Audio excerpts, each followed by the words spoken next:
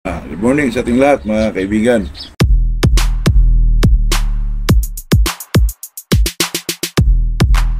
Ah, dito naman tayo sa ating usapang magmamano po. Eh, kasi mga kaibigan, may nag-comment sa akin doon sa ano ko na ano daw gawin kung ang manok ay walang ganang kumain during ah, sa kasagsagan ng conditioning po.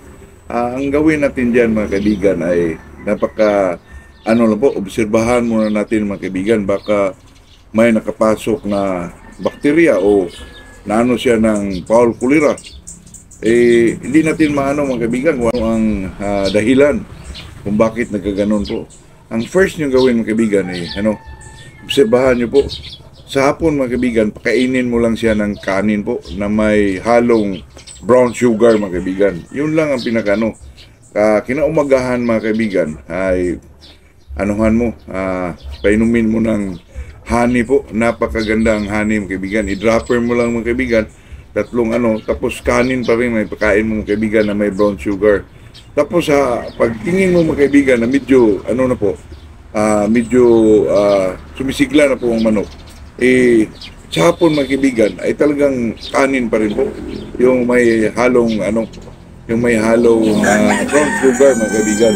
Kasi ang manok mga kaibigan, ito ang sinasabi ko mga kaibigan na during conditioning, huwag mong kalimutan magbigay ng B22 po. Kasi yung B22 ay mga, kaibigan ay talagang siya po ang uh, pumipigil sa mga anumang sakit na pumapasok sa iyong manok po. Kaya kailangan natin mga kaibigan na yung mag ano tayo conditioning po ay talagang may B22 na halo yung pagkain kasi yung magkondisyon tayo mga kaibigan ah, karamihan ay talagang ano po yung wheat feeding ang ginagamit natin mga kaibigan kasi swak na swak ito sa mga ah, kung ano man yung mga vitamins na binigay nyo katulad ng Dextrose powder ah, wheat germs. Kasi basa mga kaibigan eh talagang mahalo sa pagkain mga kaibigan. At ang biruan mga kaibigan na huwag niyong kalimutan ay yung B22 po. Kasi ito po ang parang shield sa kanila mga kaibigan na para mapasukan sila ng ah, sakit po. Ah, especially itong foul cholera mga kaibigan. Kasi itong foul cholera mga kaibigan lalo na pag nasa cord yung manok mo makain niya ng eh itong mga kaibigan itong Japanese snail na ano mo yun mga kaibigan? Maano nila yung mga kaibigan tapos tumi- tumihaya yon kainin nila yung laman or ah, makakain lang sila ng il- ilang piraso doon na ano yung laman nila ay talagang magpa-foul cholera sila doon mga kaibigan. At saka yung painuman ng tubig ma anuhan nyo ng ah, palaka. Ah, doon mag-swimming yung palaka tapos hindi nyo pinalitan yung tubig kinaumagahan ako ma- problema ka doon mga kaya yun ang napakaganda nun mga kaibigan pag magbigay kayo ng B22 po. At saka itong ano mga yung binigyan mo na ng kanin yung ano, kinabukasan ulit mga kaibigan, mag pinakita mong okay na, ay tuloy mo na yung ano, pagbibigay mo ng pagkain po. Tapos mga kaibigan, kung hindi pa, parang ganun pa rin mga kaibigan, hindi pa rin kumakain, matamlay pa rin, pa rin yung manok mo, ah, huwag mo nang ituloy yung ilaban mo yung manok mo mga kaibigan kasi baka magbigay lang ng problema yun sa iyo mga kaibigan. Ang dapat mong gawin doon, obserbahan mo, ah, painumin mo ng antibiotic o antibacterial man para makita mo kung ano ba talaga o napaka ano yun yung sulfa. Kasi kadalasan yan mga, pag matamaan siya ng ano mga kaibigan sa during conditioning ay number one yun mga kaibigan foul cholera kasi yun lang naman talaga ang tumatama sa ating manok pag conditioning kasi yung iba mga kaibigan hindi ah, masyado makapasok yung ibang ano. Kasi naka full siya ng vitamins eh naka-inject, naka-ganon, profile cholera mga kaibigan, napaka, ano po, napaka peligro po. Kaya kung walang iba, kung hindi pa rin, sa tingin mo, hindi pa rin siya na, anuhan, eh, anuhan mo ng inject mga kaibigan, uh, injectable na ano po, yung ah sulfa din mga kaibigan, magtanong kayo dun sa, ano, na, sa ah, poultry supply kung anong injectable na may sulfa mga kaibigan. Pero kung wala naman mga kaibigan, eh, yung ano lang, sulfa for 3 days, yung powder po, anuhan mo ng primoxil mga kaibigan sa hapon, sulfa sa umaga, kundi naman primoxil sa umaga, sulfa sa gabi. Depende lang yun sa inyo mga kaibigan. Pero sa akin mga kaibigan, maganda yung sulfa sa umaga, tapos sa hapon, primoxil po.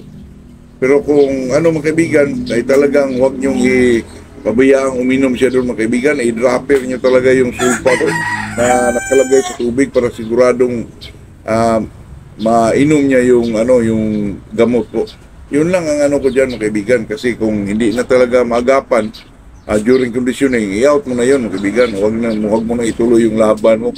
Kasi pero kung manuhan mo yan mga kaibigan, yung sinasabi ko kanin na may brown sugar, tapos painumin mo ng ano po, yung ah, honey po.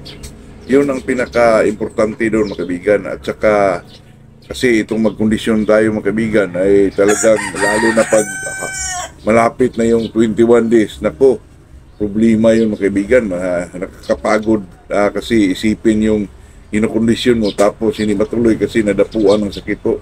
Number one po, B22. Maganda yun mga kaibigan, protection sa kanila, shield sa kanila para hindi sila magkasakit po.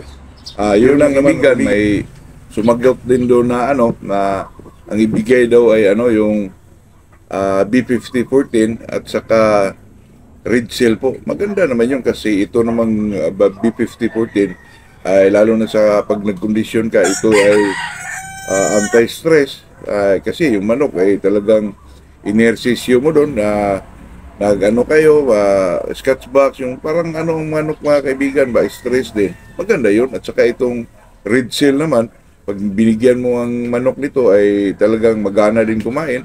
Ah, at saka ano mga kaibigan, maganda naman itong sinasuggest ng ating kabayan po. Pero sa akin mga kaibigan, yung binigay ko, ah, lalo na pag wala tayong red seal o B5014 man, ay itong ano lang, brown sugar lang, saka kanin po. Yun ang ibigay mo.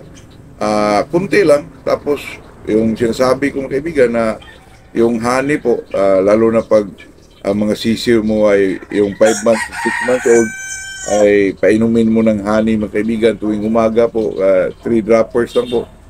Ah, isang laman ng droppers mga kaibigan, tatlo po, ay painumin mo doon. Tatlong laman ng isang dropper mga kaibigan. Ah, tuwing umaga ay talaga makita mo mga kaibigan ang resulta po na yung manok ay talagang maganang maganang kumakain po. Ayun lang, ayun lang ang ating masabi diyan mga kaibigan kasi ah, alam mo na ang ating isagot naman sa ating mga viewers o subscriber man ay talagang yun lang ano natin mga kaibigan, yun lang ah, naranasan din natin, experience natin. Ah, yun lang sa akin yun mga kaibigan kaya nai ah, naisagot din natin ito para naman sa ah, baka makatulong sa ating mga kababayan na ah, nangailangan ng sagot sa ano man yung mga ginagawa sa ating mga alaga po. Ah, ah, yun lang naman mga kaibigan, Ah, ito lang ang ma-share natin sa araw na to. Ah, ito'y usapang magumanok lang. Ah, magandang umaga sa ating lahat po.